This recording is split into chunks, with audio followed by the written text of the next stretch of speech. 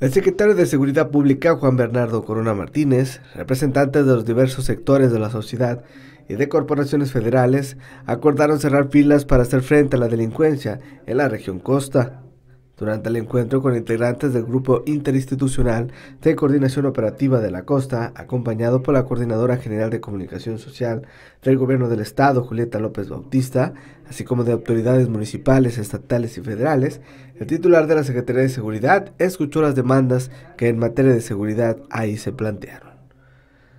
E indicó que si bien es cierto que ha disminuido los índices delictivos en la zona, se deben sumar los esfuerzos para que esas acciones sean difundidas y contribuyan a cambiar la percepción en materia de seguridad.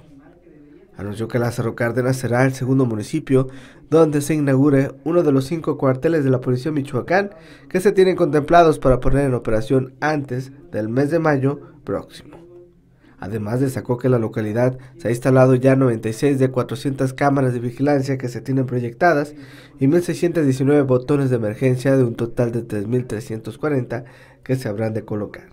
También anunció la instalación de tres arcos carreteros que se suman a uno que ya está en funcionamiento y que permite detectar en segundos la circulación de vehículos con reporte de robo y activar una alerta para su intercepción.